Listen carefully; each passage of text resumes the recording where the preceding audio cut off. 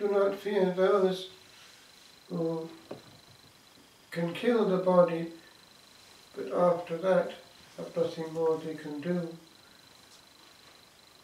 Fear rather the one who after he has killed has also the power to destroy in Gehenna.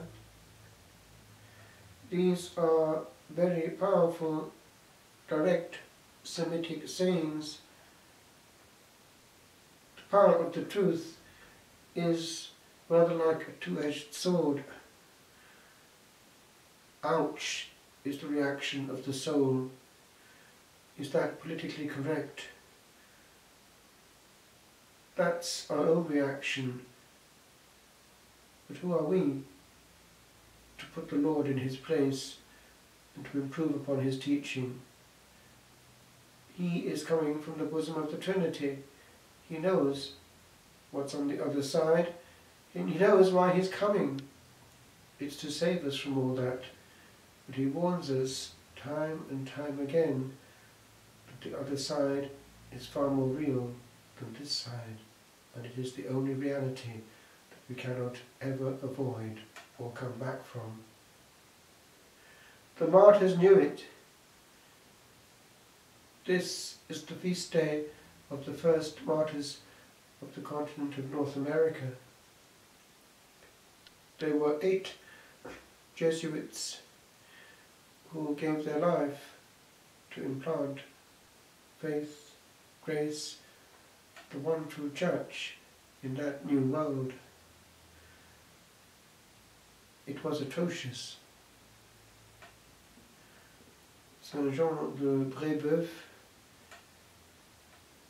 was bound to a stake and exquisitely tortured to death.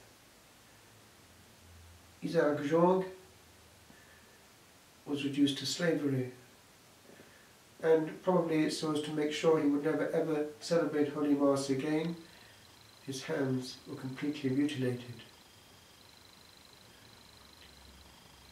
Through the mercy of God, he was able actually to return in that terrible state to France. Useless, he couldn't do much.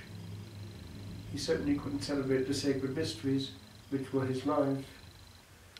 And he made a desperate plea to the Holy Father for a dispensation, for without complete hands and fingers one may not celebrate.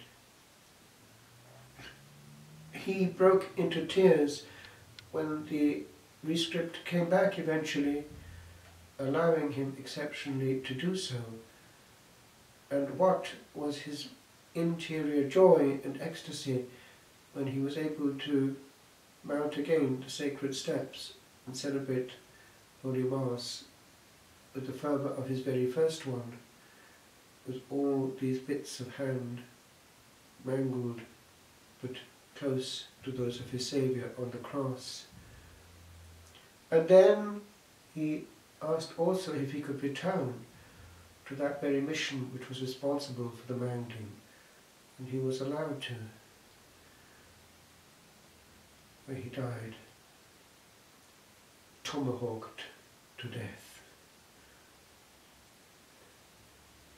Gruesome tortures awaited all of them, and we even think about not only not celebrating, not only not going to Holy Mass, but it might even be not persevering in the sacred state of the priesthood or the religious life.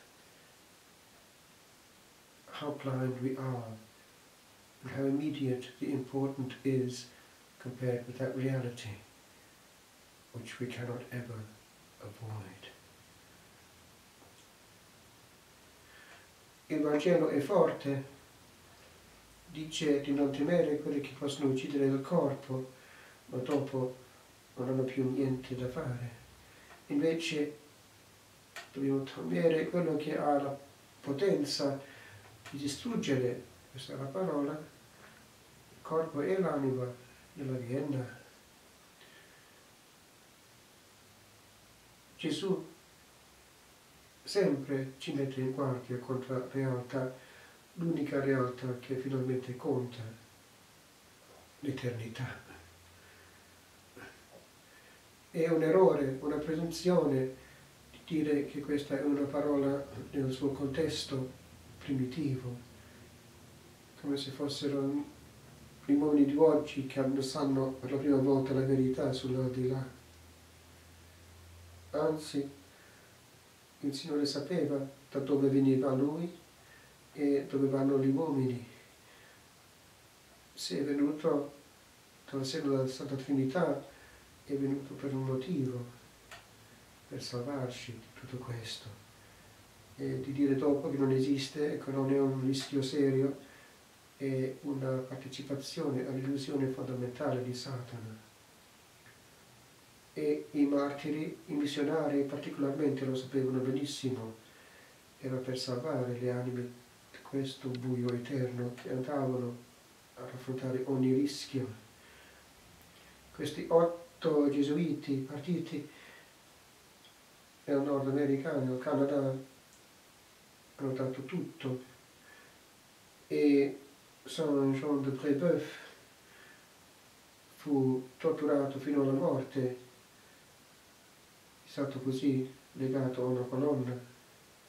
Isaac Jogues fu ridotto in schiavitù e le sue sacre mani, per impedirlo sicuramente di seguire la Santa Messa, furono del tutto distrutte. Pezzi essenziali mancavano. Però ha potuto ritornare in Francia e ha chiesto al Papa stesso la possibilità di celebrare senza mani vere. E il Santo Padre ha capito il serio della domanda e ha reso possibile contro il diritto canonico questa eccezione.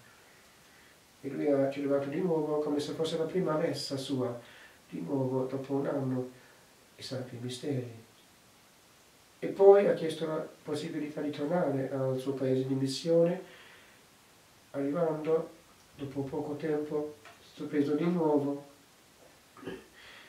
e fu a maniera loro martirizzato in una maniera grottesca e gli altri ugualmente torturati fino alla morte lasciando una lezione per noi se loro hanno capito, bisogna anche noi capis capisca che il rischio non è poca cosa. Il demonio odia la Chiesa, odia i sacramenti e fa tutto per impedire la loro celebrazione. E un mezzo potente che ha oggi è di far lasciare il sacerdozio. Lo vediamo dappertutto, mentre questi volentieri accettavano la croce in tutta la sua atrocità per dare la grazia agli uomini a rischio.